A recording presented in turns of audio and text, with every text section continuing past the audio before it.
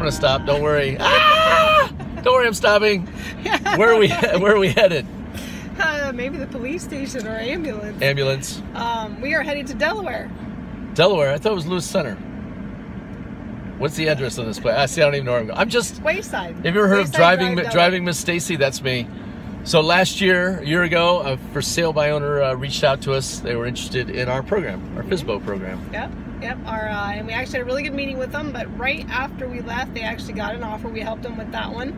Um, that's one thing that we always believe in. If you help everybody, if they need your services or, or a friend need your services, they always refer you out. And lo and behold, their deal didn't close last year. It didn't appraise. They had some issues, and so uh, they called us back and said, "Hey, now we're ready. Don't have nerves of steel. Don't want to do it myself." That's an exact quote, by the way. Oh, is that have exact quote? Don't have nerves of steel, Yeah. huh? All I don't want to do it again myself. So we're on our way to help her out this year. So karma does pay off. We're going. We're going right now. We're going to list that up. So those of you are looking for the Lewis Center area, so it's I guess the address is Delaware, but it's really Lewis Center Powell area right here off 23. it Yeah, must be it on the very edge of the Delaware address right there, but it's right here. Absolutely gorgeous. Backs to a beautiful one. ravine. What's the price on it? Uh, Or still to be determined? So half a mil. And she's a Cavs fan. She's a huge Cavs fan. I'm predicting Cavs in four.